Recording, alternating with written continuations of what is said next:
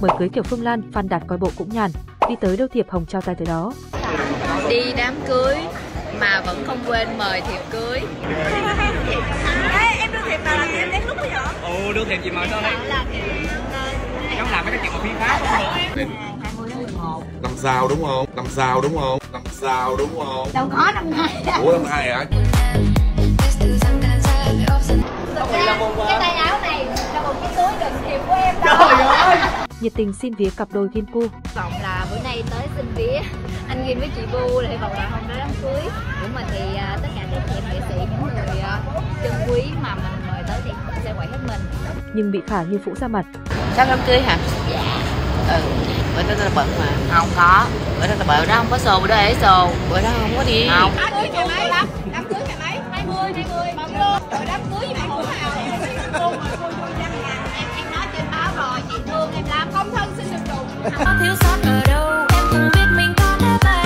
Phan Đạt chuẩn chồng người ta cặm cụi chụp ảnh cho vợ sắp cưới. Những ngày vừa qua, cặp đôi Phương Lan, Phan Đạt đang bận rộn phát thiệp hồng cho bạn bè, đồng nghiệp, xuất hiện trong tiệc hỉ của Gin Tuấn Kiệt và Puka, cả hai cũng tranh thủ gửi thiệp.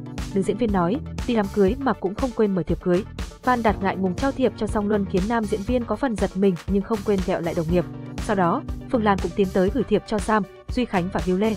Hành động lén lút, bẽn lẽn của cặp đôi khiến khán giả cười ngả nghiêng. Nhiều người còn hài hước trêu cả hai rằng đi mời cưới kiểu này coi bộ cũng nhàn. Trước đó trong một sự kiện ra mắt phim, Phương Lan, Phan Đạt cũng tranh thủ tay bắt mặt mừng với đồng nghiệp. Tại đây, đội Uyên Ương đã mang theo rất nhiều thiệp cưới. Cặp đôi cứ gặp bạn bè, đồng nghiệp thì sẽ phát liền tay.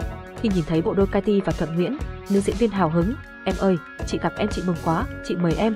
Sau đó hai chị em vui vẻ, trò chuyện giữa sự kiện. Trong khi di chuyển từ nơi họp báo đến địa điểm công chiếu phim, Phương Lan cũng tranh thủ mời thêm một vài nghệ sĩ khác. Không những thế, sau phim nhà bà nữ còn hài hước chia sẻ, cái tay áo này là một cái túi đựng thiệp cưới của em đó. Khi gặp Tiến Luật trong hậu trường một sự kiện, Phương Lan không quên gì đàn anh. Nam diễn viên cũng xoay cô nàng như trong chóng. Tiến Luật hài hước, cái này là ngày 20 tháng 11 năm sau đúng không? Tại đây, bà xã Phan Đạt xịt theo giải thích cặn kẽ cho người anh rõ. Trước đó, khi mời cưới Khả Như, Phương Lan bị đàn chị Phũ ra mặt. Cô nói, đám cưới ngày mấy, 20 hả? Bận luôn rồi. Chứng kiến loạt khoảnh khắc này, nhiều khán giả hài hước bày tỏ cặp đôi đi mời cưới toàn gặp 82 kiếp nạn. Đồng thời trong showbiz Việt, Phương Lan, Phan Đạt tranh thủ số 2 chắc không ai số một với phong cách mời cưới độc lạ. Hội ngộ Puka, Khánh Vân nữ diễn viên tranh thủ xin gợi ý để chọn mặt cười vàng tìm chú rể phụ. Với tính cách hài hước, lời lộ sẵn có, cặp chị em này liên tục đề xuất những cái tên quậy chấn động khiến cô dâu tháng 11 bất lực. Chia sẻ với truyền thông tại đám cưới Ginfu, đội Uyên Ương cho biết hiện tại tụi em đã chuẩn bị được 90% rồi, bây giờ chỉ còn là check lại những khâu bên nhà hàng nữa thôi. Hy vọng là hôm nay tới xin vía chị Puka, mong là đám cưới của mình các anh chị em nghệ sĩ cũng sẽ quẩy hết mình. Ngoài ra ông xã Phương Lan còn hài hước, bọn em đi đám cưới là để lấy kinh nghiệm, tổ chức cho cháu chuốt. Phương Lan và Phan Đạt công khai hẹn hò vào năm 2018. Chồng sắp cưới của nữ diễn viên là nhân viên văn phòng nhưng sau này đã nghỉ việc để lui về làm quản lý riêng cho bạn gái. Trong nhiều sự kiện, Phan Đạt luôn chăm chút cho bà xã từng ly từng tí. Anh từng cặm cụi chụp ảnh chỉn chu nhất cho bà xã khiến nhiều người không khỏi ghen tị. Cặp đôi đã tính đến chuyện kết hôn vào năm 2020 nhưng do ảnh hưởng của dịch bệnh nên đã tạm hoãn. Tiệc cưới của Phương Lan, Phan Đạt sẽ diễn ra vào ngày 20 tháng 11 tại thành phố Hồ Chí Minh. Mẹ đơn thần Diễn Châu hiếm hoi tái xuất thảm đỏ, tự tin tạo dáng chẳng đồ nghề.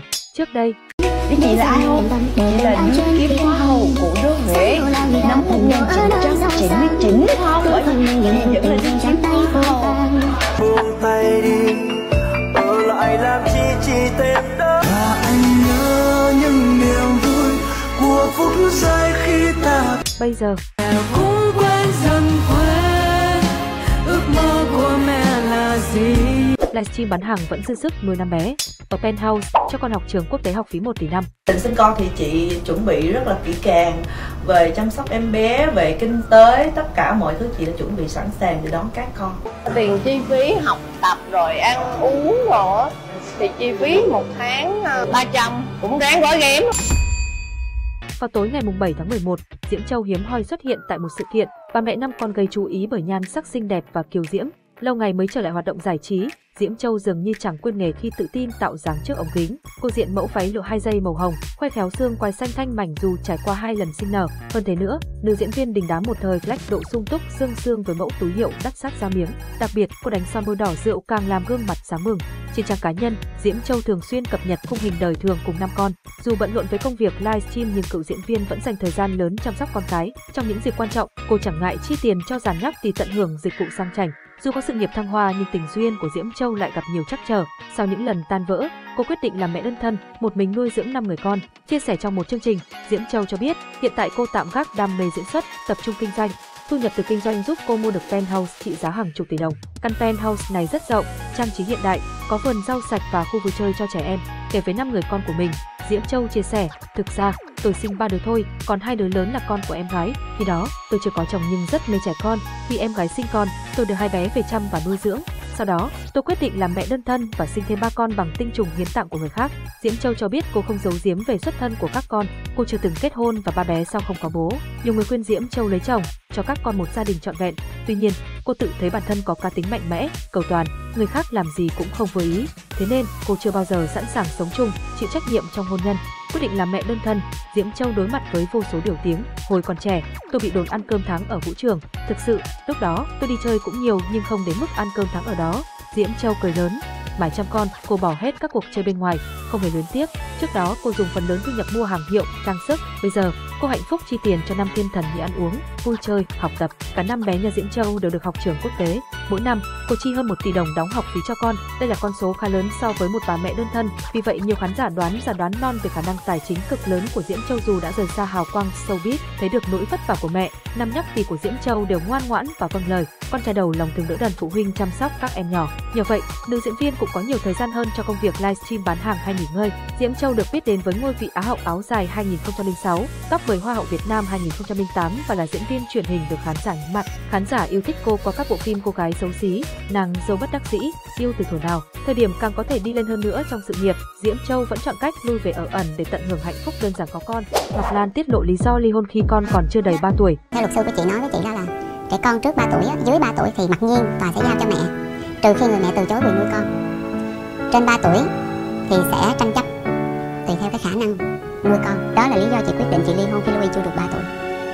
Vì chị không phải tranh chấp cái điều đó để nó nhẹ nhàng. Không muốn đi thêm bước nữa dù được nhiều đại gia ngỏ ý. Chị bị cái tính là con chị để chị dạy đừng ai can thiệp nha, đừng đừng có ai mà đừng ai dạy thay chị tại vì chị chị không biết là mình mình dạy có có là tốt nhất hay không nhưng chị tin rằng là cái cảm xúc của chị dành cho con của chị là tốt nhất Chị sợ người ta không thương con chị Quay cơ ngơi khủng tuổi U40. mỗi năm mình nhìn lại là ờ năm nay mình làm được gì mình mua được nhà chưa rồi năm sau mình sẽ mua năm nay mua được mấy cái nhà rồi năm sau mua tí chục năm nay chị cứ một năm chị đổi Lập di chúc cho con trai vì sợ gặp bất chắc.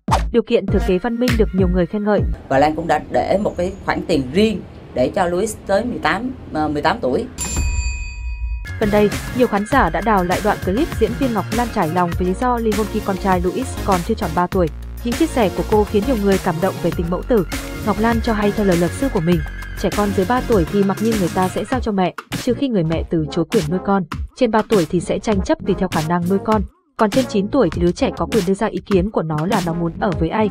Nên đó là lý do khiến nữ diễn viên Cổng Mặt Trời quyết định ly hôn khi con chưa được 3 tuổi. Cô không muốn con là vật đem ra tranh chấp để cho mọi thứ nhẹ nhàng. Ngọc Lan tự tin rằng mình hoàn toàn có khả năng lo cho bé được đầy đủ. Sau cuộc hôn nhân đổ vỡ, Ngọc Lan vẫn giữ mối quan hệ bạn bè với chồng cũ Thanh Bình. Cô luôn tạo điều kiện để nam diễn viên gặp bé Louis và đưa nhiều thỏa thuận để cả hai có thể cùng nuôi dạy con một cách tốt nhất, cho bé không cảm thấy thiếu tình thương từ cha mẹ. Ngọc Lan tiết lộ khi làm mẹ đơn thân, có khá nhiều đại gia theo đuổi mình. Có những lúc khi ra ngoài ăn tối xong, họ chờ tôi về, đi ngang cửa hàng xe, họ sẵn sàng dừng lại và mua một chiếc xe hơi tặng tôi ngay lập tức. Tuy nhiên, nữ diễn viên nhấn mạnh rằng bản thân không muốn kết hôn nữa, cô chỉ muốn một mình nuôi dạy con. Ngay tại thời điểm này, tôi có thể khẳng định rằng tôi không muốn lấy chồng. Nếu có thể tìm được một người đàn ông có thể chia sẻ được, tôi chỉ muốn dừng ở mức chia sẻ, quan tâm nhau chứ không muốn về chung nhà. Tôi không thích ai sai con tôi. Khi về chung nhà, họ có thương con mình thì họ sẽ có sự dạy dỗ, nhưng tôi không thích điều đó. Tính tôi hay tính sao như vậy, nữ diễn viên chia sẻ. Sau nhiều năm hoạt động nghệ thuật, Ngọc Lan sở hữu khối tài sản đáng ngưỡng mộ. Tuy vậy, cô khá kín tiếng và ít chia sẻ như nhiều nghệ sĩ khác. Năm 2020, sau khi chia tay diễn viên Thanh Bình, Ngọc Lan từng chi một số tiền lớn để mua liên tiếp hai căn hộ sang trọng, ba phòng ngủ tại quận 2, thành phố Hồ Chí Minh. Cô cũng tậu xe hơi sang trọng để phục vụ chuyện đi lại. Đầu năm 2023, nữ diễn viên khai trương cửa hàng tại một khu đô thị sầm uất ở quận 7, thành phố Hồ Chí Minh. Theo nhiều thông tin, giá thuê căn hộ ở đây lên đến hơn chục triệu đồng mỗi tháng. Trong một bài phỏng vấn, Ngọc Lan từng tâm sự cô ít chi tiêu, phần lớn là tích cóp và đầu tư vào bất động sản, cụ thể là nhà cửa và xe hơi. Tôi để dành nhiều lắm.